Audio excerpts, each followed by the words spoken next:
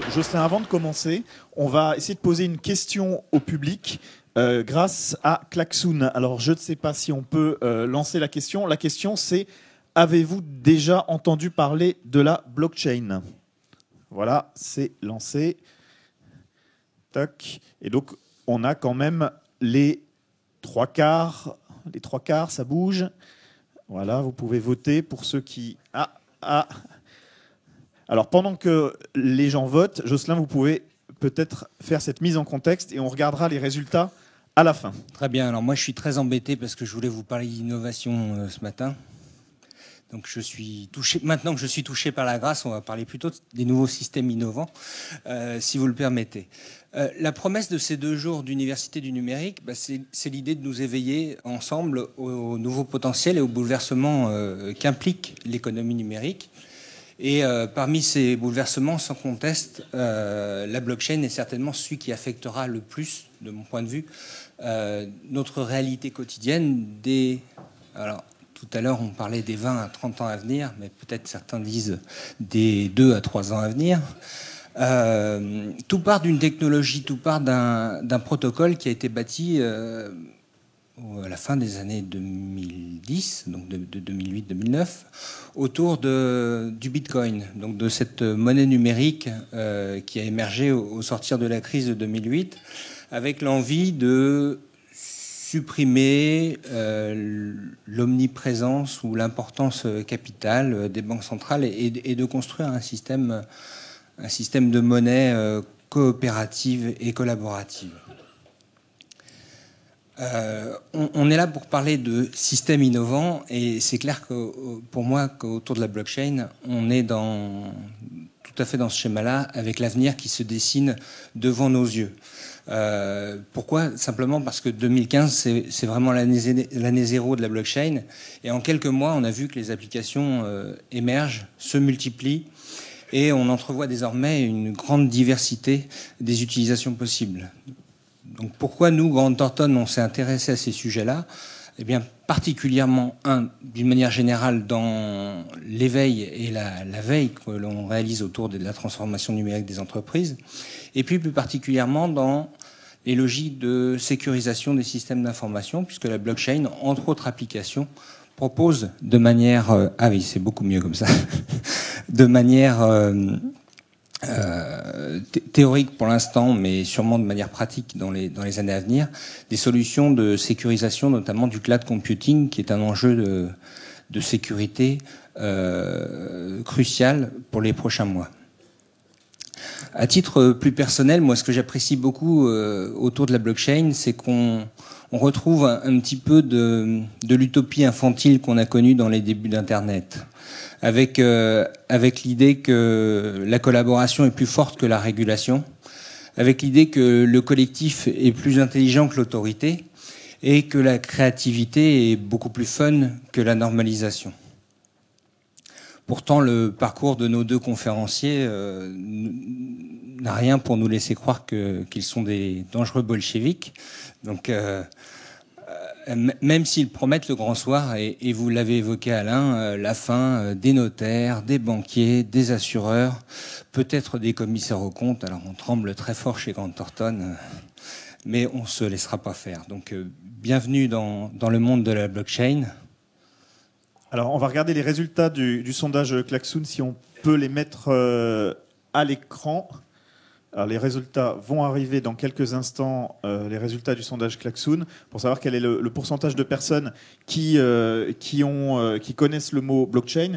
En attendant de, de, mettre les résultats à l'écran, je vais appeler les deux cofondateurs de Blockchain France, Clément Jeannot et Alexandre Stachenko, sur scène, s'il vous plaît.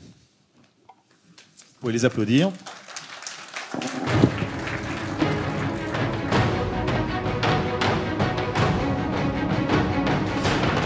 Bonjour à tous les deux. Bonjour.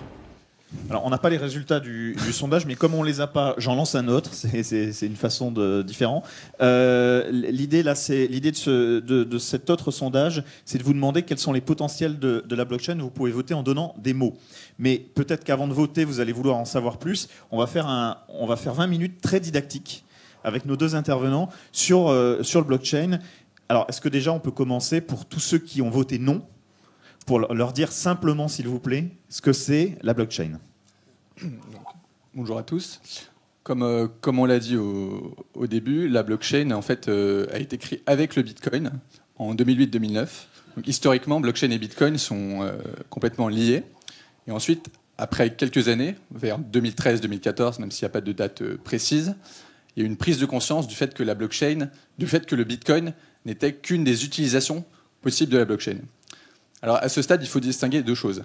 La blockchain, qui est la technologie blockchain, et une blockchain, qui est une, base de données, euh, un registre. Et en fait, euh, le Bitcoin a été historiquement le premier exemple de la, de, la, technologie blockchain, mais le Bitcoin n'est qu'une des blockchains possibles. Donc quand on a inventé le, Bitcoin qui était une monnaie, il fallait avoir un tiers de confiance pour justifier que bah, moi j'avais sur mon portefeuille que je vous les avais envoyés à vous. C'est ça. et que moi je les avais plus du coup, puisque je vous les avais donnés. De, manière euh, très, très, pratique, euh, comment ça fonctionne vraiment en 30 secondes euh, bah, Je vais prendre l'exemple du Bitcoin justement. on a besoin de manière générale dans les transferts d'argent d'avoir quelqu'un qui valide que je dispose bien de la somme que je dis avoir, que je suis bien la personne qui initie la transaction, etc. Et Bitcoin avait pour but de dire je, je, ne veux plus de cet intermédiaire en qui je n'ai pas confiance, mais à remplacer cet intermédiaire par le réseau en lui-même donc le système innovant qui était la blockchain. Concrètement, donc vraiment en 30 secondes, euh, le Bitcoin, qu'est-ce que c'est? C'est-à-dire, je vais initier une transaction, donc je vais dire, je veux vous envoyer de l'argent. Euh, donc j'informe le réseau que je vous envoie de l'argent. Donc en cinq étapes. La première étant, voilà, je, définis une transaction euh, avec un montant, une date et un destinataire, un émetteur. Deuxième étape, le réseau s'empare de la transaction. Le réseau dit, bah, je vais vérifier effectivement que je suis bien la personne que je dis, que je dispose bien des fonds, etc., etc. Ensuite, et c'est là que c'est intéressant, c'est que la troisième étape, c'est que l'ensemble des validateurs du réseau, euh, qui est ouvert, et donc du coup chacun peut rejoindre le réseau pour, valider des transactions, et on les appelle les mineurs, euh, vont euh, avoir une compétition entre eux, ils vont devoir résoudre un problème algorithmique très complexe, et celui qui va résoudre ce problème en premier, on passe à la quatrième étape, va avoir le droit de valider le prochain bloc de transaction sur la chaîne de blocs, d'où le nom blockchain, dans laquelle ma transaction a priori euh, est. Et donc une fois que ce bloc est validé, il informe le réseau que ce nouveau bloc est le bloc suivant de la chaîne. Euh, et donc un état de consensus s'installe dans le réseau et valide euh, donc de manière très transparente. Donc il faut retenir trois choses de tout ce processus, trois caractéristiques de la blockchain. la première c'est la transparence. Euh, c'est-à-dire que là, je viens de vous dire, par exemple, j'envoie une transaction euh, de moi à vous, moi à n'importe qui dans la salle. Eh bien, je peux aller voir euh, dans le registre, n'importe qui peut aller voir que j'ai effectivement effectué cette transaction de telle personne à telle personne de tel montant. Le deuxième, c'est la sécurité. La sécurité assurée par de la cryptographie asymétrique. On on va peut-être pas rentrer dans les détails, mais il faut savoir que par exemple, en 7 ans d'existence, la blockchain Bitcoin n'a jamais été hackée. Euh, il y a eu des tentatives, elle n'a jamais été hackée. On voit souvent dans les médias des articles qui disent telle ou telle personne s'est fait voler des bitcoins, etc. C'est jamais le réseau en tant que tel, il faut bien distinguer, ce sont les plateformes d'échange, les wallets, etc. Euh, et la troisième chose, et c'est peut-être là la, plus grande force de la blockchain, c'est la désintermédiation. C'est-à-dire que là, dans tout ce processus que je vous ai décrit, vous n'avez pas d'entreprise, vous n'avez pas de banque, vous n'avez personne au milieu, et c'est peut-être là sa plus grande force, sa plus grande singularité en tout cas, et c'est ce qui va changer la manière de faire du business, et en tout cas, il faut s'y préparer. Parce que quand vous parlez du réseau, c'est un réseau décentralisé, finalement, comme peuvent, pouvaient l'être des réseaux peer-to-peer euh, d'échange de, fichiers ou d'échange de, de, comme, euh, comme BitTorrent, par exemple. C'est un réseau qui est décentralisé, donc finalement, il n'y a pas une personne qui va valider la transaction entre nous. Exactement. C'est tout le réseau. C'est tout le réseau qui, qui euh, ça part vraiment du concept de consensus. Le réseau s'accorde sur un état de consensus qui devient la vérité du réseau. Et donc, ce qui est intéressant, c'est que là, ce que vous venez de, décrire, c'est un, processus qui permet de valider que vous m'avez bien envoyé de l'argent. Et, de, et de, figer ça dans un registre, mais on peut imaginer plein d'autres usages. Parce que euh, finalement, qu'est-ce que c'est un notaire si ce n'est quelqu'un qui vient dire que vous m'avez vendu euh, votre maison et que maintenant elle vous appartient plus, elle m'appartient à moi. Donc en gros, euh, blockchain permet d'avoir de très très nombreux usages. Est-ce qu'on peut définir C'est là, là, effectivement que c'est le, flou sur les usages parce que justement, et c'est là que Clément mentionnait ce, shift un peu donc, en 2013-2014 de se dire la, la blockchain c'est pas que le Bitcoin.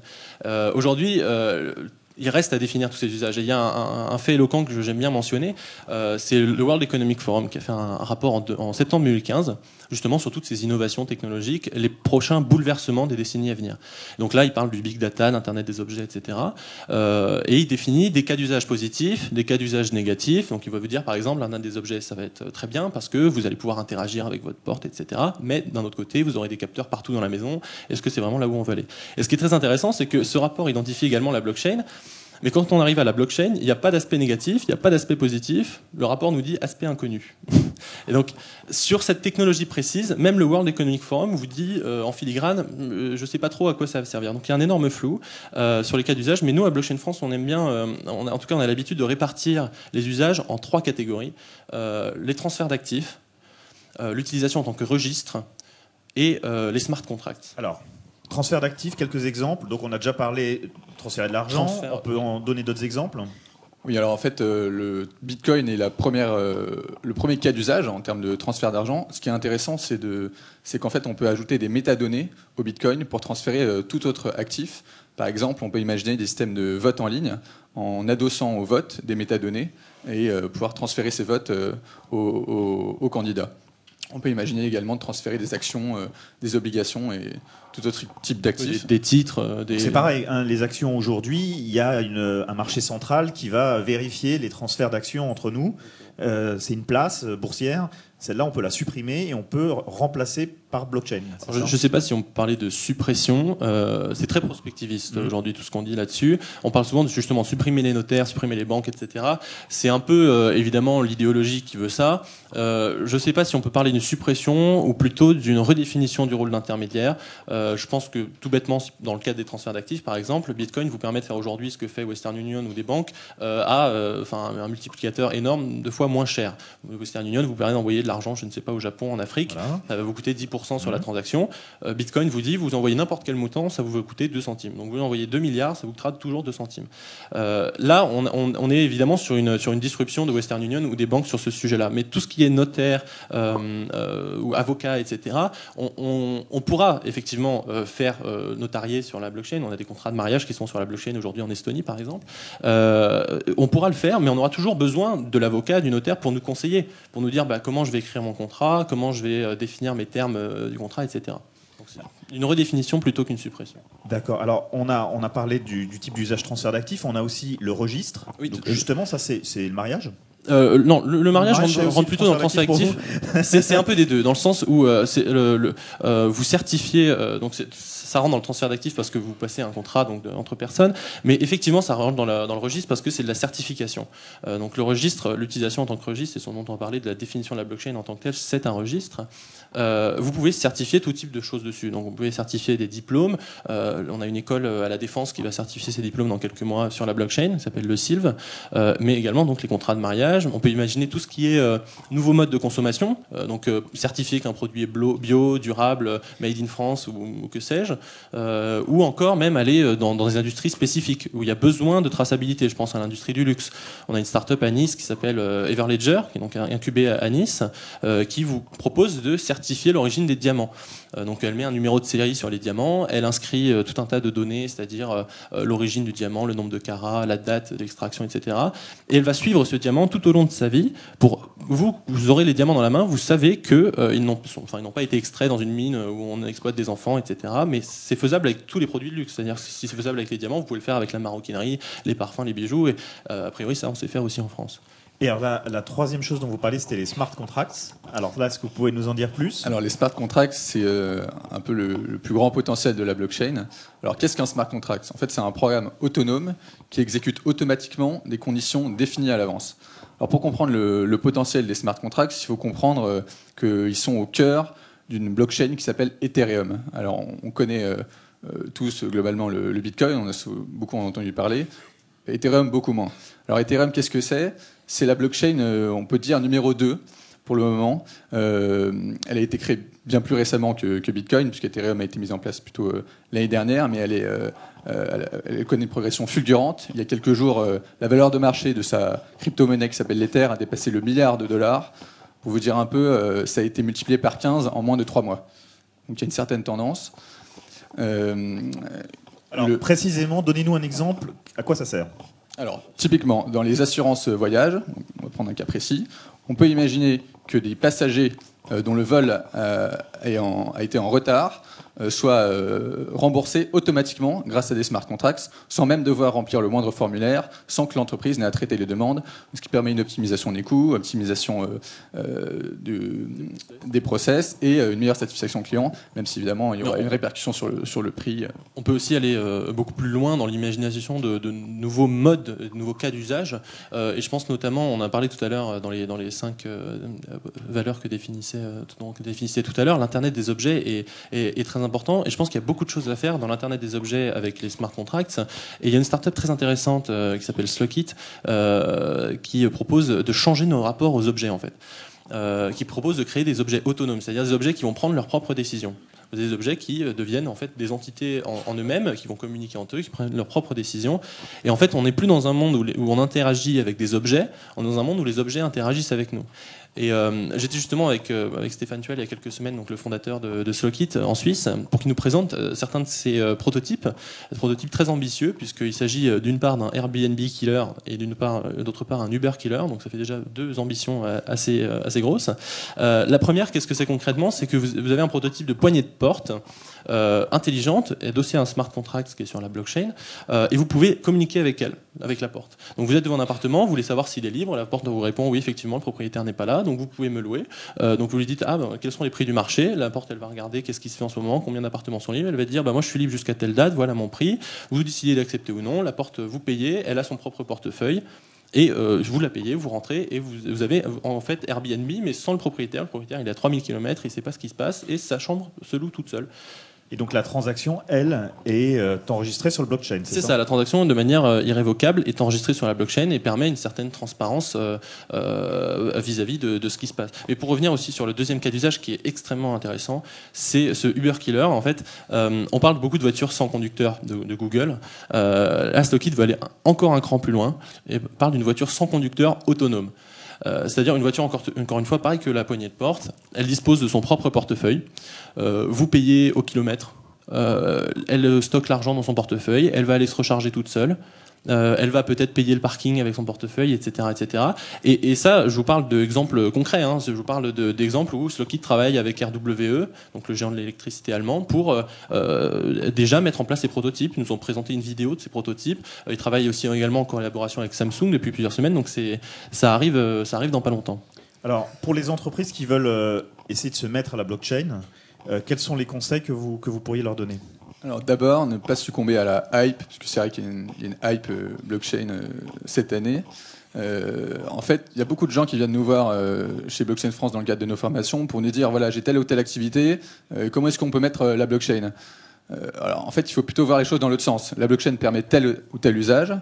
Est-ce que ça peut être pertinent pour mon business? Euh, alors si c'est pertinent, euh, il y a peut-être deux choses à faire. D'abord regarder ce qui peut être fait, euh, ce, qui, est fait possiblement sur le sujet à l'étranger ou, en France. Et deuxième chose, commencer à tester, à expérimenter, créer des, des, proof of concept, comme on dit, parce que c'est uniquement en expérimentant qu'on pourra se rendre compte de la réalité. Pour l'instant, il y a beaucoup de com, il y a beaucoup d'entreprises. je disais la dernière fois que Goldman Sachs voulait créer leur propre coin, ce qui pas forcément beaucoup de sens. Il y a beaucoup de com, mais derrière, euh, il, faut, creuser euh, la réalité des choses et se rendre compte qu'en fait, euh, on est au tout début. Pour l'instant, personne n'a pris une avance irrémédiable. Et si on se rend compte, si pour l'instant on, ne voit pas d'utilisation immédiate, eh bien, il faut suivre les, expéri- les expérimentations en cours, comme celle de Slockit, qui est une des expérimentations les plus prometteuses, notamment parce que c'est une des rares startups qui a commencé à présenter un prototype. Et comme l'a dit Alexandre, il travaille quand même avec Samsung, euh, RWE. Et il faut savoir aussi que Microsoft a annoncé un partenariat avec Ethereum. Euh, ils ont choisi Ethereum et pas le Bitcoin pour euh, intégrer la blockchain sur, la plateforme, sur leur plateforme qui s'appelle Azure as a Service.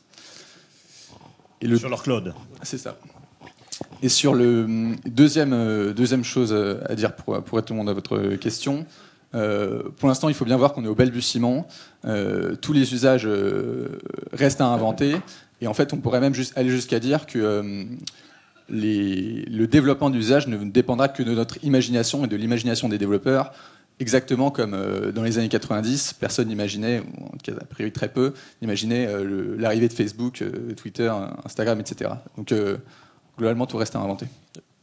Pour, répondre aussi à la, question, euh, suivre, à mon avis, euh, après c'est peut-être un peu pour les, pour les initiés, mais suivre un débat qui, euh, à mon avis, va être le débat des prochains mois sur la blockchain, le débat entre blockchain public et privé.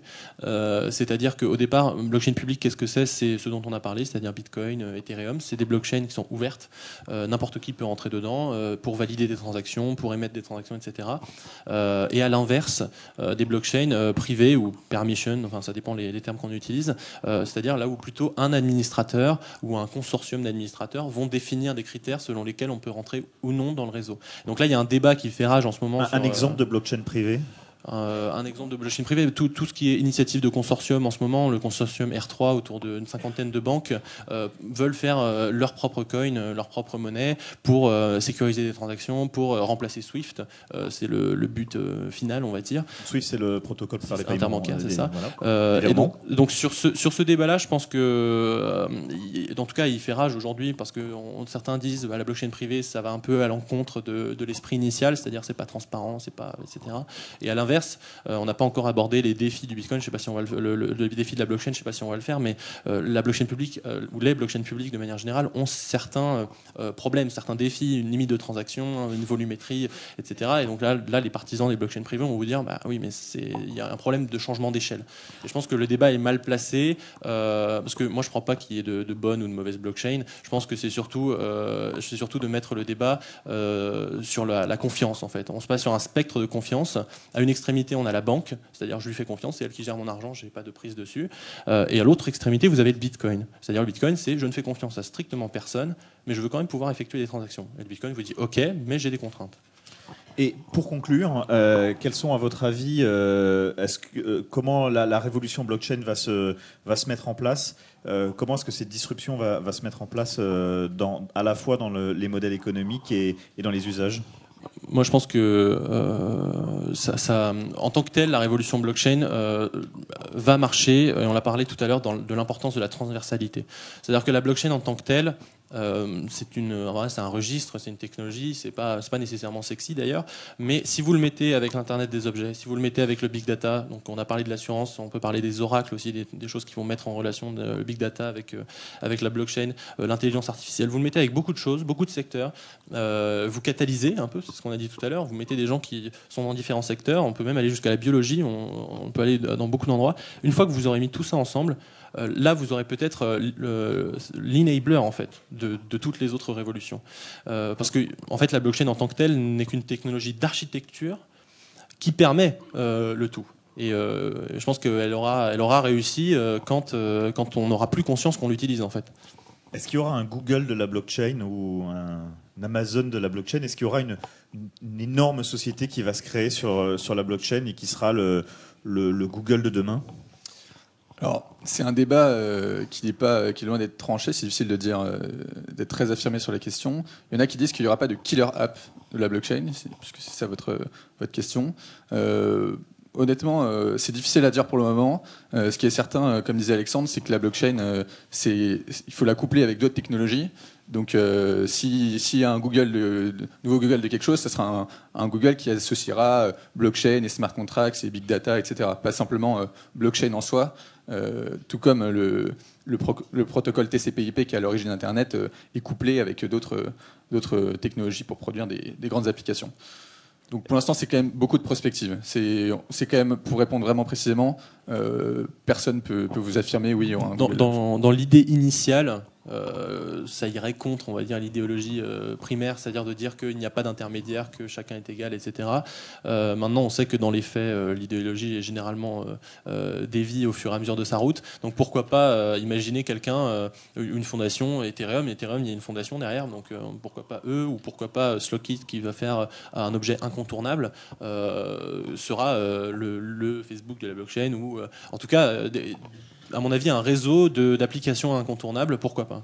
Mais euh, juste pour, pour compléter euh, le propos, s'il y a un nom à retenir, aujourd'hui, ce serait, à mon avis, Ethereum, euh, qui n'est pas encore connu, qui est porté par un, leader qui s'appelle Vitalik Buterin, qui a 21 ans et qui est de plus en plus considéré comme le, le Mark Zuckerberg de la blockchain.